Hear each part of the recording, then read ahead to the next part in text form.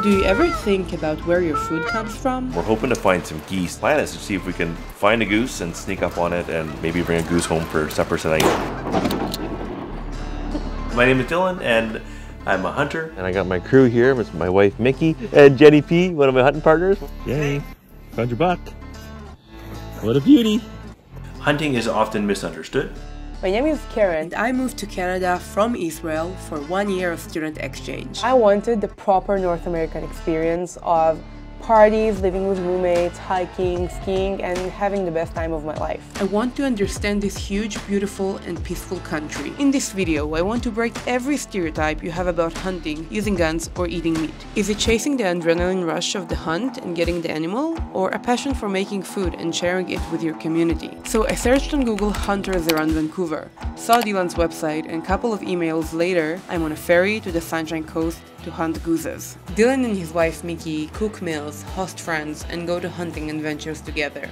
I manage provincial parks for a living. Outside of that, I have a project called Eat Wild. We make our like classic gut gutting. I've got a couple techniques for how I'm gonna move this deer. Where I teach folks how to hunt and gather wild food. That's been a passion project you know, that I've been doing for the past 10 or so years. And I was kind of an odd kid because we spent our families would spend our weekends and holidays fishing or hunting and gathering wild food together. My father was an amazing cook.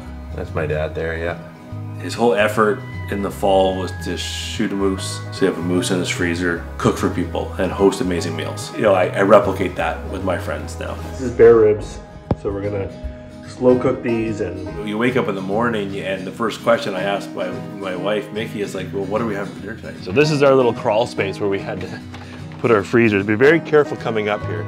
This is our freezer space and storage room. This is deer, it's a big deer roast. We make sausages. This is from our bear from a couple from last year. This is sheep meat menu tonight. Uh, we're gonna do that elk in meatballs. We hiked into a valley, hunted for three or four days, and then shot this elk. It was a gigantic elk. And so it probably weighs like 500 pounds um, of meat. Every day we create our own food. What hunting means to you? Why it's so important? a need to be a little bit more connected with where your food comes from. And I think that people are coming to that, that reality and that thought process because of these things about like seeing the price of food increase or you're getting exposed to how animals are treated in the factory farm systems. I think people are wanting to make different decisions around where their food comes from and how hunting can be an alternative to say buying your meat at the grocery store. Most people don't even notice that. They don't even notice the cost of their food. They don't really know and they don't think about where it's from and what the supply chain is to get to your to your plate. and salt and pepper. Like lazy person. I was gonna make meatballs and fry them up, but I made our, our meat mix a bit too wet, so it's gonna be much easier to turn it into a meat loaf. I'm also committed to ensuring that those animals are there for future generations of society thrive and coexist with these animals, which, which includes harvesting them. The whole reality of killing something is just just a small part of it, and I don't get off on it. I don't get excited about killing things. It's part of the you know it's part of it, but there's just so much more emotion that comes with it. You know. For many of us, guns are an implement of violence for a lot of people. Like, I have personal experience with gun violence in my family. Um, it's not something that I think should be celebrated. It's a tool that I use, and I, I respectfully use it to um, harvest animals. But I don't think it's something that we should we should celebrate as a society, given the impact that firearms have on so many people. So. In Israel, we eat kosher food. We have certain types of meats that are not kosher according to Judaism. So I never tasted deers, elks, black bears meat, or even oysters. Okay, I'm trying my first oyster. Try one. So the trick with these though is to point them so that you can like slip them out, and so you gotta point them towards you so you can slip them out in the fat.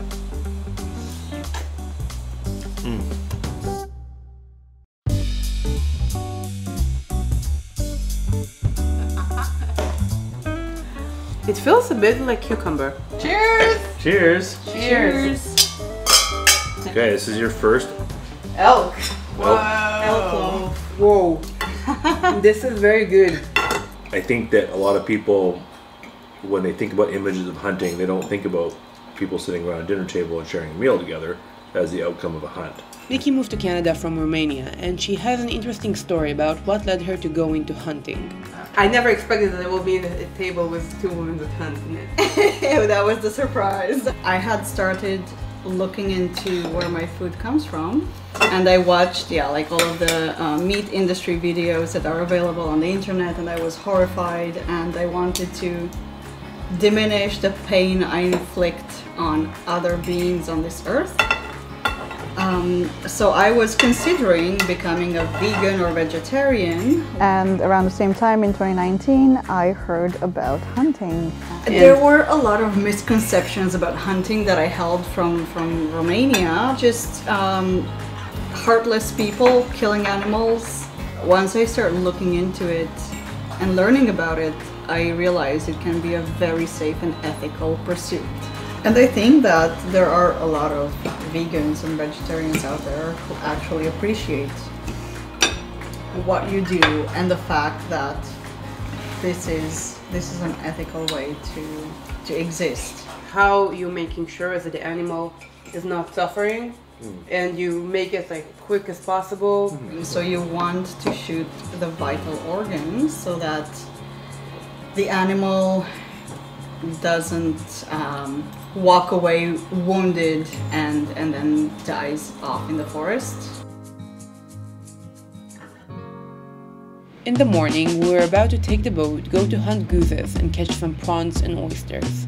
It'll stop raining. So this is our home. We have uh, lots of stories and antlers on the wall, remembering some of the adventures we've had. And there's a white-tailed deer. In recent years, we've um, got a couple bears. This is a beautiful way to connect with the bear. This is a stone sheep. My wife's Mickey's. This is her first uh, mule deer buck. Goose season open today. Goose! They can hear us coming. So we take the boat to a little islet. The geese seem to live on top of these little islets or around them. You Seeing something? Yeah, geese. Right on the other side of those rocks there. Oh yeah, oh yeah, oh yeah, I see them.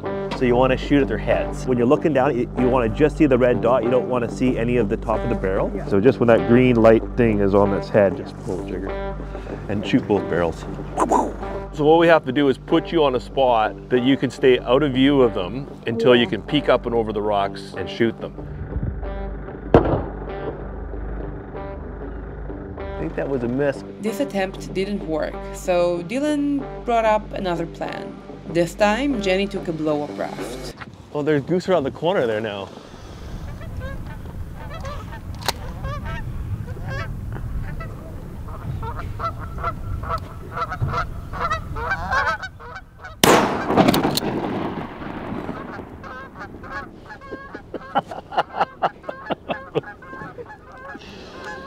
Because you shot way late. This attempt didn't work as well. However, we had an awesome day, saw sea dogs, caught prawns, and saw this cute guy. Hi, hello. We're gonna release this little guy. Bye. We had unbelievable conditions to get the boat around. As far as the hunt goes, I think we did. We had an idea of how we might find some geese and how we might be able to put together a hunt if we were to, you know, try and kill a goose. And, and we had, I think, three pretty good opportunities, and and unfortunately didn't come together. But what's cool about it is like I'm, I'm excited to go again, right? I, want to do it again, and and to me that's a successful hunt when you're inspired to get back out there. You've learned something, you've proven the theory correctly.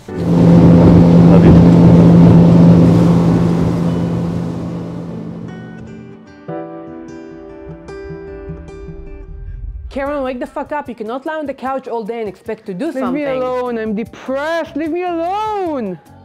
Tell them all what the content creators say in the middle of the video. Please subscribe to my YouTube channel, follow me on Instagram and like me on TikTok. It will help my community grow.